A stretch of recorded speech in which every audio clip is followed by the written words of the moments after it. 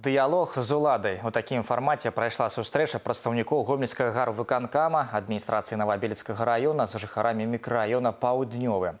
Наш корэспандэнт Вераніка Гамзюкова ведае, аб чым ішла размова. Падставай для сустрэчы стаў зварот групы ініцыятыўных жыхароў мікрараёнаў гомельскі аблвыканкам. Мэта абмеркаваць хвалюючыя праблемы жыхароў паўднёвага і варыянты супрацоўніцтва. Галоўнае пытанне на парадку дня будаўніцтва школы. Бліжэйшая яслі сад сярэдняя школа нумар 73 перапоўненая, як і дзіцячы сад, які адкрыўся ў мінулым годзе. Прадстаўнікі ўлады адзначылі, што ў 2019 годзе распачата падрыхтоўка праектна-каштарыснай дакументацыі па будаўніцтве школы на 845 месцаў у мікрараёне хутар. Могу говорить за этот год. Бассейн улица Ленинградская, проектные работы бассейн Ирининская, проектные работы строительства... Проектные работы.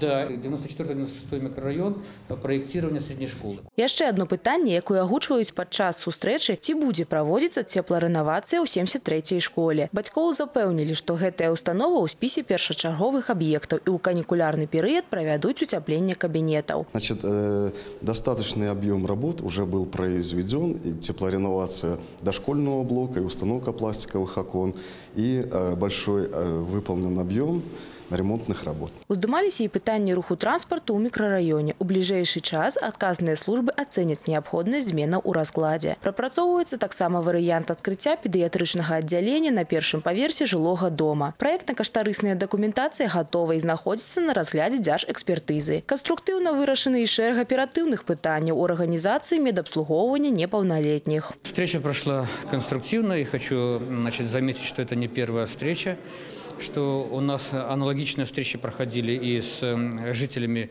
э, микрорайона Романовичи. В эту субботу у нас будет очередная встреча с теми же жителями микрорайона Романовичи.